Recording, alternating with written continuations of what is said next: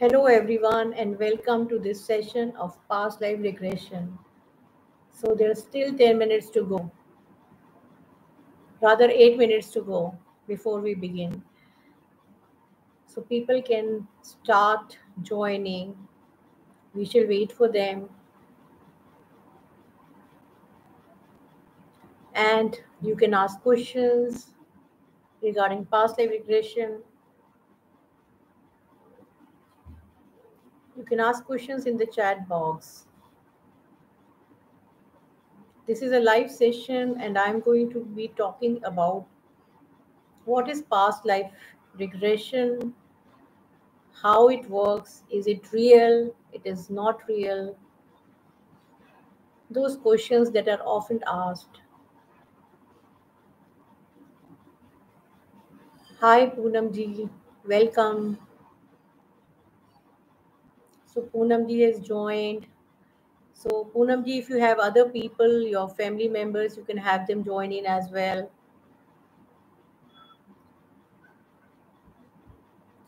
So hi Poonam ji.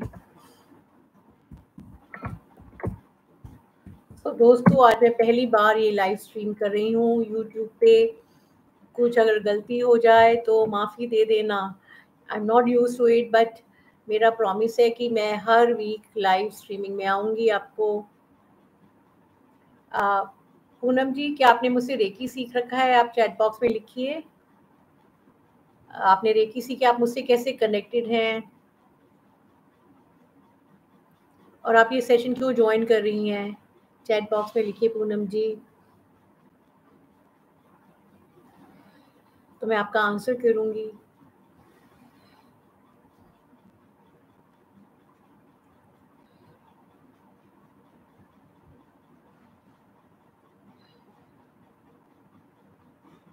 And thank you for joining in Poonam ji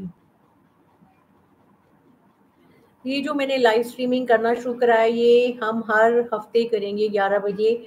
मैं जो भी knowledge है, मैं कोशिश करूँगी वो आपके साथ बांटूं।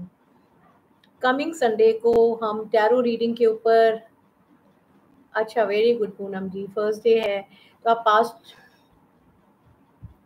पास्ट लाइफ के बारे में आप क्या जानना चाहते हो? So let me try to past life regression के बारे में।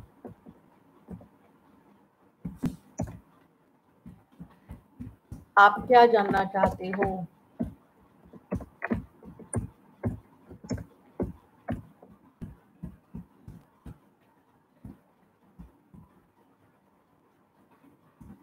हम अक्सर जो है, जब भी हमारी लाइफ में कोई प्रॉब्लम आती है तो इंडिया में तो बहुत प्रचलित है. It's very common in India हम हमेशा ये कहते हैं, अरे, मैंने कौन से पाप करे थे जिसका फल मुझे भुगतना पड़ रहा है? मैंने ऐसा क्या बुरा किया था, भगवान? पिछले जन्म में। ये क्यों मुसीबतें मेरे को आ रही हैं? और जो बार बार बार बार नेगेटिव हमारी लाइफ में होता है रिपीटेड जो होता है पैटर्न वो क्यों हो रहा है? तो ये जानने के लिए बहुत लोग उत्सुक होते हैं। कि हमारी लाइफ में ये बलाएँ क्यों आ रही हैं? हाँ तो ये जैसे पूनम जी कह रही हैं कि मेरा कौन सा काम अधूरा रह गया था जो हम इस जन्म में पूरा करने आए हैं? तो बहुत सारी मिस्ट्रीज हैं पास्ट लाइफ की। और पास्ट लाइफ क्या होता है? कैसे काम करता है? ये सब मैं आपको बताने वाली हूँ। देखेंगे अगर समय रहा सेशन का तो कोशिश करूँगी सेशन भी या मैं रखूँ, क्योंकि पास्ट लाइफ में जाना एक बार में आसान काम नहीं होता। पूनम जी, आज आप मुझे सुन पा रही हैं? कैन यू हियर मी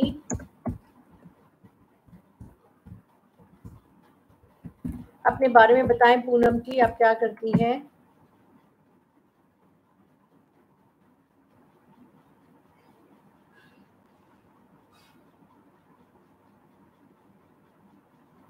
तो दोस्तों, दो ही मिनट बचे हैं पास लाइफ रिग्रेशन का सेशन स्टार्ट होने में।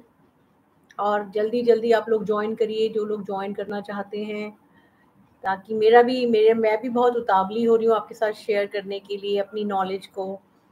जितना मैंने सीखा, जितना मैंने जाना, और आपसे शेयर करूँगी कि मैं कब से इस काम में हूँ, कब से मैंने पास लाइफ रिग्रेशन सीख रही हूँ, और क्यों सीख रही हूँ, और क्यों मैं करवाती हूँ। क्या पैटर्न्स होते हैं, जो उसकी वजह से हमारी लाइफ में प्रॉब्लम्स आती हैं और हम उन्हें कैसे तोड़ सकते हैं।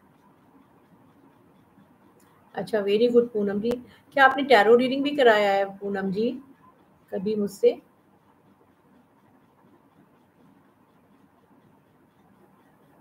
तो दोस्तों, कुछ सेकंड्स ही बाकी रह गए हैं।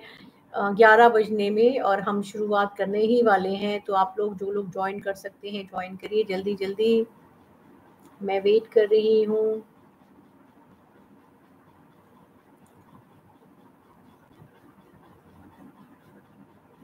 आप सुन नहीं पा रहे हैं पूनम जी तो मुझे नहीं पता सेटिंग्स क्योंकि मेरा भी ये पहला टाइम है तो I am not very sure कि मैं कैसे करूँगी।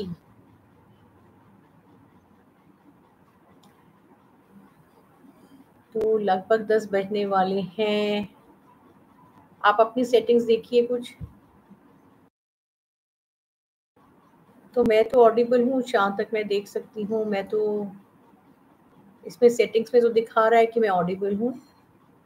एनी वेज लेट्स बिगिन तो मैं अपना इंट्रोडक्शन देती हूँ। पूनम जी, आप अपनी सेटिंग्स चेक करिए। Please check your settings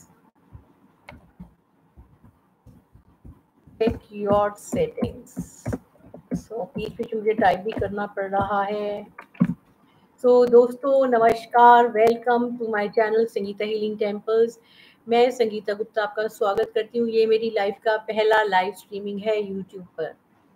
तो मैं अपने बारे में परिचय देना चाहती हूँ। मैं संगीता गुप्ता पिछले तीस साल से tarot reading past life regression और ये सुन नहीं पा रही है so sorry once again I begin मैं पिछले तीस, लगभग तीस सालों से 92 में मेरी स्पिरिचुअल जर्नी शुरू हुई थी, तब से मैं Vipassana reiki past life regression सीख रही हूँ। वो मेरा टाइम था थोड़ा बहुत सीखने का, शुरू का एक साल मैंने सीख में बिताया। बट लगभग 29 टू 30 इयर्स हो गए हैं मुझे लोगों के साथ पास लाइफ रिग्रेशन सेशंस लेते हुए रेकी करते हुए टैरो रीडिंग उसमें बहुत पॉपुलर नहीं था बट थोड़ा बहुत करते थे। पर्सनल लेवल पे जो भी मैंने सीखा पॉजिटिव थिंकिंग एफोमेशंस हम अपनी लाइफ की इश्यूज़ पे कैसे काम करें। तो जैसे जैसे मैं अपनी लाइफ पे काम कर रही थी, वैसे वैसे मैं सिखा भी रही थी। तो उन दिनों पास्ट लाइफ रिग्रेशन को कोई नहीं जानता था। मेरे को मेरी गुरु, मेरी टीचर एलेना असगर मिली, जो एक रशियन लेडी थी मैरिड टू एन इंडियन एक विपासना मेडिटेशन में जो मुझे पहली बार उन्होंने रेकी और पास्ट लाइफ रिग्रेशन के दर्शन कराए। मैं उनकी जैसा बनना चाहती थी क्योंकि वो बहुत लोगों की लाइफ में डिफरेंस कॉज करती थी। तो उनकी किताबें पढ़ती थी, उनसे मैंने पास्ट लाइफ रिग्रेशन सीखा। तो पास्ट लाइफ रिग्रेशन में मैंने ये जाना कि बहुत सारे मेरे जो पैटर्न्स थे पिछले जन्म के, वो इस जन्म में भी उजागर हो रहे हैं तो रिपीटेड चीज़ें हो रही हैं। मुझे बहुत सारे सेशंस लेने पड़े थे पास्ट लाइफ रिग्रेशन के। मेरे को कम से कम पच्चीस तीस सेशंस लेने पड़े। क्योंकि मैं देख ही नहीं पा रही थी अपनी पास्ट लाइफ तो पास्ट लाइफ देखना आसान नहीं होता है स्पेशली उन लोगों के लिए जो विजुअल नहीं होते हैं। तो पास्ट लाइफ रिग्रेशन जो है uh, पहले सेशन में भी कुछ लोग जा सकते हैं ये मेरा अनुभव रहा है। और uh, कई बार uh, बहुत टाइम लगता है किसी किसी को। जो लोग विजुअल होते हैं या जो लोग मेडिटेटिव होते हैं वो जल्दी चले जाते हैं। पास्ट लाइफ रिग्रेशन होता क्या है? रिग्रेशन का मतलब होता है रिग्रेस करना बैकवर्ड जाना। तो अगर हम मानते हैं ये हमारा प्रेजेंट है, ये पास्ट है और ये फ्यूचर है तो हमारे पास्ट का इन्फ्लुएंस हमारे प्रेजेंट में होता है। बहुत सारी चीज़ें जो हमारे सबकॉन्शियस माइंड में बैठ जाती हैं, बहुत सारे गुस्सा, क्रोध, ऐसे नेगेटिव इमोशंस बैठ जाते हैं, उनका इन्फ्लुएंस हमारे इस जन्म में होता है। और जिन व्यक्तियों से हमारा क्रोध हमारा अपसेट हमारा एनिमोसिटी वगैरह होती है उसके पैटर्न्स इस जन्म में भी आते हैं। अगर हमने उन्हें ठीक नहीं करा तो वो आगे कंटिन्यू करेंगे। तो बहुत सारी चीज़ और बहुत सारी बीमारियाँ भी होती हैं जिनकी जो पास लाइफ में रही हैं तो वो हम कैरी ओवर कर लेते हैं इस जन्म में। तो जब मैं एलेना के साथ काम कर रही hello Tanu hello Tanu can you hear me Tanu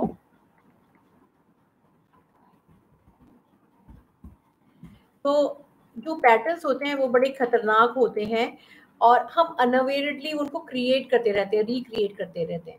जैसे कि पिछले जन्म में अगर मैं बहुत ज़्यादा बीमार रही हूँ और मरते वक्त मेरी मृत्यु के टाइम मैं इसी चीज़, इसी एनर्जी को लेके मरी हूँ कि बीमारी जो है, वो तो आती आती है और बीमार तो इंसान रहेगा ही रहेगा। तो वो इस जन्म में भी बीमारी के लक्षण होंगे। बचपन से पैदाइशी टाइम में भी आपको वो बीमारियाँ लगेंगी।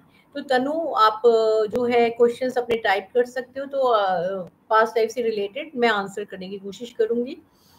तो उन पैटर्न्स को तोड़ने के लिए, जो हमारी मुसीबतें कंटिन्यूसली बचपन से आई जा रही हैं, उस पैटर्न को तोड़ने के लिए, उनसे मुक्ति लेने के लिए हम पास लाइफ रिग्रेशन करते हैं।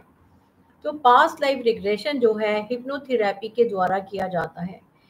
क्योंकि अगर हम अपने माइंड को समझे कॉन्शियस माइंड और सबकॉन्शियस माइंड और सुपर कॉन्शियस माइंड हमारे माइंड के तीन पार्ट्स हैं। कॉन्शियस माइंड सबकॉन्शियस माइंड और सुपर कॉन्शियस माइंड तो कॉन्शियस माइंड में होता है कि जैसे मैं अभी बात कर रही हूँ तो कॉन्शियस माइंड से मैं बात कर रही हूँ। हेलो हिमांशी।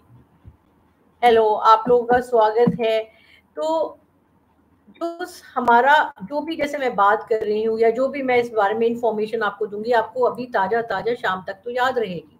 बट उसके बाद वो नॉलेज और इन्फॉर्मेशन आपके सब कॉन्शियस माइंड में चली जाएगी between twelve to twenty four hours और सब कॉन्शियस माइंड की भी बड़ी सारी लेयर्स होती हैं। आपने, वहाँ पे आपकी सारी मेमोरीज पड़ी होती हैं। बचपन से लेके अब तक की सारी मेमोरीज पड़ी होती हैं। कॉन्शियस माइंड उन्हें भूल जाता है। कि भाई बचपन में आज क्या तारीख है? आज सत्ताईस तारीख है। कोई इम्पोर्टेंट इवेंट हुई दस साल पहले, सत्ताईस तारीख को, मार्च को तो सबकॉन्शियस माइंड में वो मेमोरीज पड़ी होंगी। तो जो सबकॉन्शियस माइंड है, जो इम्पोर्टेंट इवेंट्स होती हैं, उनकी मेमोरीज को कैरी करता है। नहीं तो अगर एक एक पल का वो अगर रखे तो दिमाग खराब ही हो जाएगा। इतनी मेमोरीज नहीं होती हैं। बट जो इम्पोर्टेंट इवेंट्स होती हैं, जो लाइफ चेंजिंग इवेंट्स होती हैं, जैसे कोई घटना हुई जैसे मेरे साथ एक घटना हुई थी टू थाउज़ेंड नाइन दिसंबर में, मुझे अभी भी याद है। तो मेरा, मैं जा रही थी रिक्शा पे तो मेरा पर्स छीन लिया गया था। अगर मैं हिप्नोसिस में जाऊँ और वो देखूँ कि उन लोगों का चेहरा याद करने की कोशिश करूँ कि वो लोग कौन थे तो हिप्नोसिस के सेशन में मैं रिग्रेस करूँगी बैकवर्ड्स जाऊँगी और कोई हिप्नोथेरापिस्ट ये कर सकता है। मेरे लिए खुद जाना थोड़ा मुश्किल होता है। तो वो जो है, आप, मैं जो हूँ देख पाऊँगी उन लोग, वो मैं क्या कर, क्या कपड़े मैंने पहने थे, वो लोगों का नाम क्या था। तो बहुत सारी इंफॉर्मेशन मैं रिट्रीव कर पाऊँगी। और जो उस समय मेरे को फियर हो गया था, मेरे को आज भी वो फियर कई बार आ जाता है कि कोई भी बाइक वाले को देखती हूँ तो मैं घबरा जाती हूँ। तो जो आज पैटर्न है और जो उस समय हुआ उनका आपस में एक कनेक्शन होता है। तो मैं अगर इसको रिलीज़ करना चाहूँ तो मेरे को उस इवेंट पे जाना पड़ेगा रिग्रेशन के दौरान। तो मेरा वो फियर ऑफ़ जो बाइकर्स हैं उनसे वो ख़त्म हो जाएगा। तो इसीलिए हम जो है पास लाइफ रिग्रेशन करते हैं कि आज की टाइम जो भी हम फील कर रहे हैं महसूस कर रहे हैं और जो भी आ, आ, हमारी लाइफ में मुश्किलें आई जा रही हैं कंटिन्यूसली आई जा रही हैं तो उनका लिंक उनका लेना देना हमारे पिछले जन्म से है। उसको हमने हटाना है तो उसके लिए पास लाइफ रिग्रेशन करेंगे। कई बार वो पैटर्न्स हमारे बचपन के भी होते हैं। जैसे बचपन में हमने चाइल्ड अब्यूज़ देखा पेरेंट्स से फादर से। तो जो आपका प्रेजेंट हस्बैंड है, वहाँ पे भी आप ये एक्सपीरियंस करोगे कि वो कहीं ना कहीं वो एब्यूजिव है। और अगर थोड़ा और बैकवर्ड्स जाओ, अगर हम अपना पास लाइफ रिग्रेशन करेंगे तो देखेंगे कि पिछले जन्म में और पिछले कई जन्म भी हो सकते हैं। पिछले कई जन्म, जन्मों में हमारा ये पास लाइफ में बार बार बार बार एब्यूज़ होता चला जा रहा है। तो जिन लोगों को ऐसी समस्याएँ हैं, उनको पास लाइफ रिग्रेशन करवाना चाहिए। एक हम देख सके, जब पास लाइफ रिग्रेशन में हम जो है री एक्सपीरियंस करते हैं अपने एक्सपीरियंस को, और वहाँ पे क्योंकि ये थेरेपी है पास अगर हम इसे बोलें, ये पास लाइफ रिग्रेशन थेरेपी है। तो पास लाइफ रिग्रेशन थेरेपी में जो थेरेपिस्ट होता है, जो फैसिलिटेटर होता है, जो आपको पास लाइफ में ले जा रहा है तो वहाँ पे सिर्फ़ विजन नहीं दिखा रहा आपको। वहाँ पे जो भी नेगेटिव इमोशन आपके इकट्ठे हो गए हैं, उनको आप रिलीज़ करें, क्योंकि जो इमोशंस हैं, वही हमारे सबकॉन्शियस माइंड में बैठे रहते हैं। तो अगर कोई बहुत फियरफुल घटना हुई या बहुत ज़्यादा एब्यूज़ हुई है पास लाइफ में तो इस जन्म में भी वो इमोशन ऑफ़ फियर है विद मैन और एब्यूज़ का, वो फियर है कि वो आपका अनजाने में ऑटोमेटिकली सबकॉन्शियस माइंड पिछले जन्म से वो सिग्नल दिए जा रहा है कि एब्यूज़ होगा मेरा। Man are abusive in nature तो पापा के साथ भी आपको एब्यूजिव अनुभव होगा कि एब्यूज़ डांटना, मारना या जो भी है, और हस्बैंड के साथ भी होगा। और जितने भी मेल्स हैं, उनके साथ वो एनर्जी कैरी करती है। कुछ बीमारियों में भी इस तरह से होता है जैसे एस्थमा जैसी बीमारी है वो पास लाइफ रिग्रेशन करने से ज़्यादातर लोगों के साथ मैंने काम किया है और पता चलता है कि एस्थमा जैसी बीमारी जो है वो पिछले जन्म की वजह से आती है जब आपको एक्सपीरियंस हुआ कि आपका दम कोई घोट रहा है। तो जिसकी दम घुटने से मृत्यु होती है पिछले जन्म में वो लोग इस जन्म में एस्टमेटिक हो जाते हैं। आ, वो कैरी ओवर करते हैं सेम डिज़ीज़ को।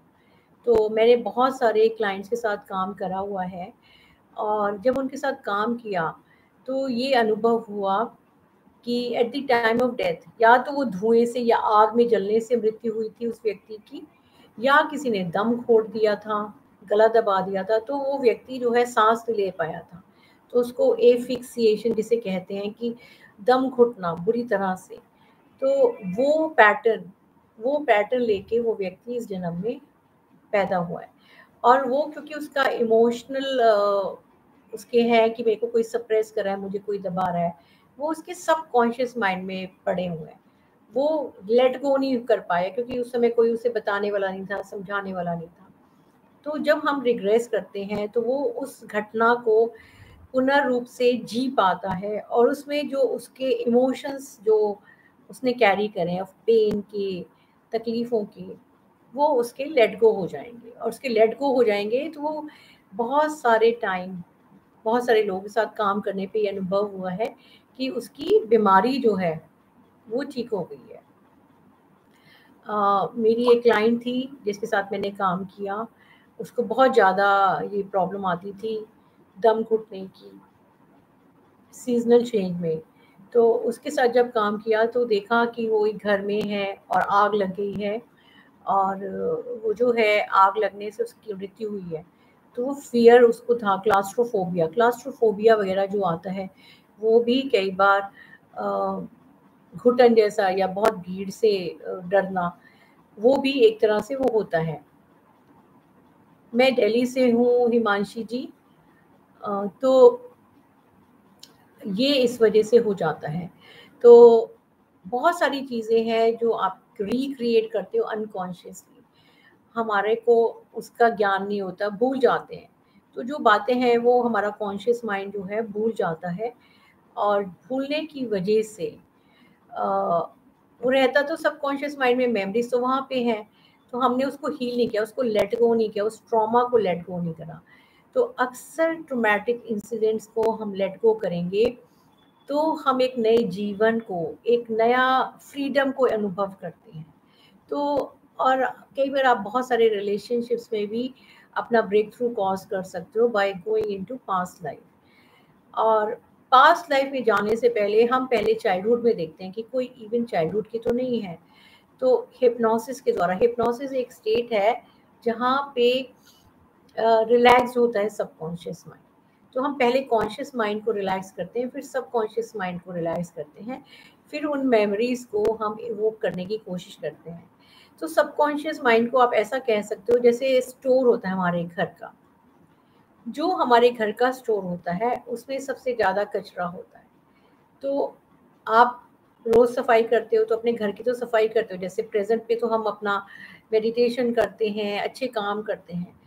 पर स्टोर रूम में झाँक के कभी नहीं देखते। दसियों बीसियों साल से, और वहाँ पे कचरा कई कई जनरेशन का हो जाता है। तो अपना पास लाइफ का भी कचरा जो है, वो वहाँ पे पड़ा हुआ है। तो अब जो आपका ये जो जगह है, इसको क्लीन करने में टाइम तो लगेगा ना। शुरुआत आप करोगे, एक दिन में तो सारा स्टोर रूम साफ़ साफ़ नहीं हो जाता। आप धीरे धीरे एक एक सामान बाहर निकालते हो। तो इसी तरह से पहले आप जो है पिछले दस साल बैकवर्ड जाते हो हिप्नोसिस के थ्रू फिर बीस साल पहले जाते हो, अगर आपकी चालीस साल की उम्र है, फिर आप at the time of birth जाते हो। फिर आप पास लाइफ में जाते हो। कुछ लोग लकी लोग हैं जो एक ही बार में चले जाते हैं।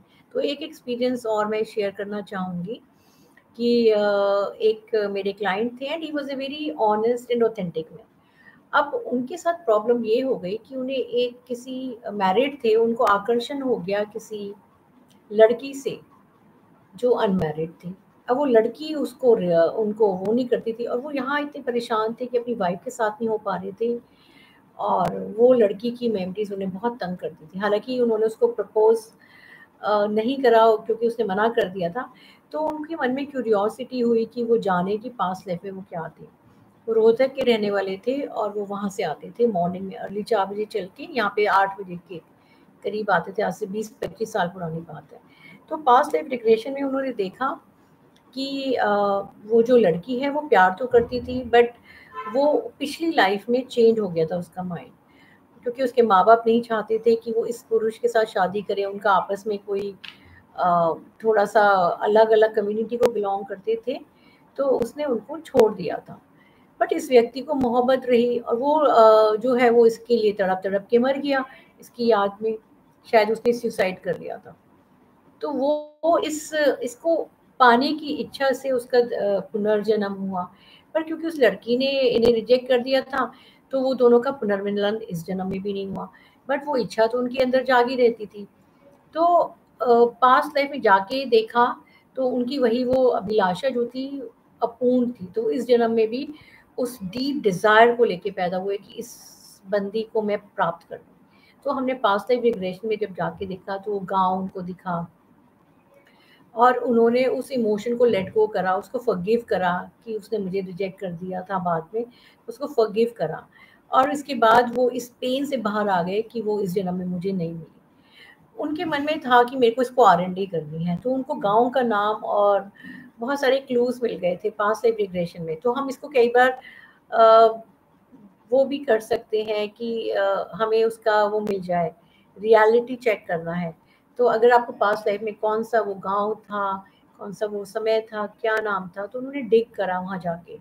एक्सपायर का काम करते हुए वो वहाँ पे गए और उन्होंने डिग करा उन्होंने वहाँ देखा कि वहाँ पे क्या प्रॉब्लम थी, वो कौन सा गाँव था और उन्हें वो मिले। कुछ कुछ अवशेष मिले कुछ कुछ कुछ कुछ पुरानी बातें बहुत थी नाइनटीन थर्टीज़ की बात थी बट उन्हें वो गाँव वगैरह मिल गया, जो अभी भी एग्जिस्ट करता था विच प्रूव कि ये सच है और जबकि उस गाँव का नाम उन्होंने इस जन्म में कभी भी नहीं सुन रखा था। तो एविडेंस मिल गया और कुछ कुछ उनको एविडेंस उस व्यक्ति के नाम का भी मिल गया। कुछ चीज़ें मिल गई जो मुझे अभी याद नहीं, क्योंकि बीस साल पुरानी बात याद है। तो he was very excited to share with me कि मैम, मैंने देखो, वो एक बहुत बड़े खोजी टाइप के थे वो व्यक्ति। तो उनको वो एविडेंसेस उन्होंने ला के रखे कि हाँ ये दोनों का कनेक्शन है मेरी आज के जीवन का और पास लाइफ का। तो आप उस पर आर करते हैं तो आपको पता चल जाता है। तो पास लाइफ रिग्रेशन एक पाथवे है। आपकी प्रेजेंट की जो प्रॉब्लम्स हैं, उनको रिजॉल्व करने का, उनको देखने का, उनको जानने का और अपनी लाइफ इस जन्म को बेटर करने का। तो ये पास लाइफ रिग्रेशन का फ़ायदा है। इसमें कुछ सेशन में फ़र्स्ट सेशन में जो होता है, उसमें हम जानते हैं कॉन्शियस टॉकिंग होती है और हम जानने की कोशिश करते हैं कि आप लाइफ में क्या डील कर रहे हैं, इस समय क्या प्रॉब्लम आपकी लाइफ में चल रही है। और bit by bit bit by bit उसे हम पीछे की तरफ़ लेके जाते हैं। कई लोग, जैसे मैंने बताया कि पहले सेशन में चले जाते हैं और लगभग एक घंटे का समय लग सकता है, आधा घंटे से एक घंटे का समय लगता है। एक और इंटरेस्टिंग स्टोरी शेयर करूँगी, उसके बाद हम सेशन को ख़त्म करेंगे। तो एक लेडी थी जो मैरिड थी। उसका हमने एक, हम ग्रुप पास लाइफ रिग्रेशन कर रहे थे, उसमें उसको पिक करा एज ए सब्जेक्ट और उसके ऊपर हमने पास लाइफ रिग्रेशन करा, क्योंकि उसकी लाइफ में एक और व्यक्ति आ गया था।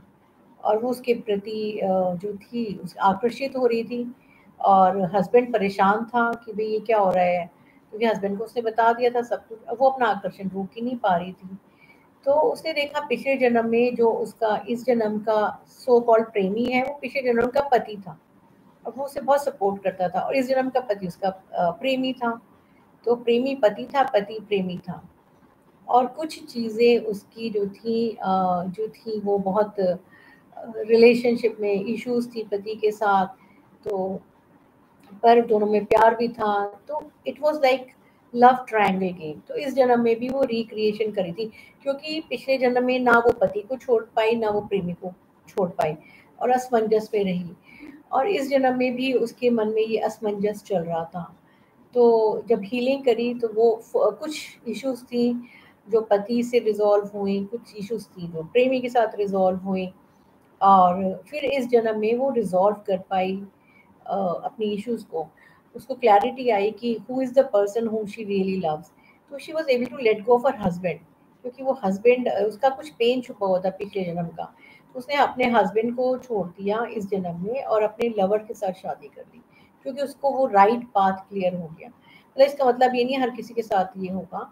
हर व्यक्ति की कहानी अलग है, हर व्यक्ति की कार्मिक चीज़ें अलग हैं, हर व्यक्ति का इमोशंस अलग है। तो हर व्यक्ति के साथ अलग अलग कहानियाँ हैं अलग अलग इश्यूज़ आएँगी। रिलेशनशिप्स में अक्सर बहुत ज़्यादा आती हैं। बीमारियों में ये पास्ट लाइफ रिग्रेशन का बहुत काम करता है, जो बीमारियाँ ठीक ही नहीं हो रही। तो और कई बार पास्ट लाइफ करते करते कई बार चाइल्डहुड रिग्रेशन भी हो जाता है कि बचपन में हमने क्रिएट कर लिया एक मैं अमेरिकन क्लाइंट के साथ काम कर रही थी तो उसको कुछ बैक की प्रॉब्लम हो गई थी। तो जब रिग्रेस किया तो पता चला कि तेरह, बारह, तेरह साल की उम्र में उसकी मौसी ने बोला कि हमारे फैमिली में बैक इश्यूज़ होती हैं। यू मस्ट बी केयरफुल क्योंकि थर्टीज़ में आते आते हमारी फैमिली में सबको ये प्रॉब्लम हो जाती है। तो उसके सबकॉन्शियस माइंड ने, तेरह साल के बच्चे का सबकॉन्शियस माइंड बहुत स्ट्रांग होता है। उसके सबकॉन्शियस माइंड ने ये बात पकड़ ली कि मैं तैतीस साल की उम्र में ये बीमारी मुझे आने ही वाली है। तो रिग्रेशन किया। तो ये उसने बोला तो हम हम जो सोचते हैं, वो बोलते हैं, जैसे कि हम लॉ ऑफ़ अट्रैक्शन में समझाते हैं, हम उसको क्रिएट कर लेते हैं। तो उसने जो है, हमने उसको वापस लेके गए और वहाँ पे उसका वो रिग्रेस करके उसने उसको क्लियर करा। रिग्रेस करके उसने वहाँ से मुक्ति पाई। तो ये उसने किया और इससे वो बाहर आ गई अपनी प्रॉब्लम से। तो आप लोग कुछ कहना चाहते हैं, कुछ पूछना चाहते हैं पास रिग्रेशन के बारे में? कुछ क्वेश्चंस हैं? तो उनको ले लेते हैं अगले कुछ मिनटों में। और फिर हम इसको ख़त्म करेंगे इस सेशन को। और before you ask any questions तो अगले वीक 11 बजे हम फ्री टैरो रीडिंग सेशन रखेंगे। तो आप अपने दोस्तों को फैमिली मेंबर्स को, सबको बता सकते हैं कि फ्री टैरो रीडिंग सेशन होगा अगले अगले वीक 11 बजे। तो आप लोग आएँगे टैरो रीडिंग के सेशन में। और आप लोग का स्वागत है, अपने दोस्तों को भी लेके आइएगा। अपनी लाइफ में फ्यूचर का ग्लिम्स आप ले सकते हैं कि हमारा फ्यूचर आने वाला कैसा रहेगा। तो दोस्तों, आज का सेशन यहीं ख़त्म करते हैं। अगर आपको कैसा ये सेशन लगा कमेंट बॉक्स में लिखिए। और आप किस तरह के सेशंस चाहेंगे लाइव वो भी आप बताएँ। अगर आपको पास लाइफ रिग्रेशन का सेशन मेरे साथ पर्सनली करना है तो आप जो हो मेरे नंबर पे कॉल कर सकते हैं, nine eight one one one four two two four nine. तो ये वीके जी पूछ रही हैं या पूछ रहे हैं कि क्लियर वॉइंट टेक्निक्स क्या होती हैं? क्लियर वॉइंस होती है कि क्लियर वॉइंस वॉइंस विजुअल देखना। तो वो चीज़ें देखना जो आम आँखों से आप नहीं देख सकते, जिसे हम कह सकते हैं थर्ड आई एक्टिवेशन इसको हम ये भी कह सकते हैं कि जो चीज़ें फ़िज़िकल फॉर्म में नहीं है नॉन फ़िज़िकल चीज़ों को या सूक्ष्म रूप से देखना। तो क्लियर वॉइस के ऊपर मैं किसी दिन और सेशन लूँगी बट हिप्नोथेरेपी के थ्रू भी आप, जब आपका मन शांत होता है और विचारहीन होता है तो क्लियर वॉइस जो है, उस समय आपके अंदर आ जाती है और हिप्नोसिस के थ्रू भी आप क्लियर वॉइस में जा सकते हैं। रेकी के थ्रू भी क्लियर वॉइस आपकी एक्टिवेट होती है। मन शांत रहेगा तो हम बहुत कुछ देख सकते हैं। इंसान के पास वो ताकत है, इंसान के पास वो एनर्जी है। तो आप लोगों का शुक्रिया अदा करना चाहूँगी। ऑलमोस्ट थर्टी मिनट्स हो गए हैं। आप लोग पेशेंटली इस चीज़ को सुन रहे हैं। Thank you VK ji thank you Himanshi thank you Tanu thank you Poonam ji thank you all for watching and do join me again next week with your questions. अपनी फैमिली मेंबर्स को भी आप invite कर सकते हैं। Tarot reading का session रहेगा 11 बजे संडे को। Every week I be coming with these sessions thank you very much tata bye bye take care sayonara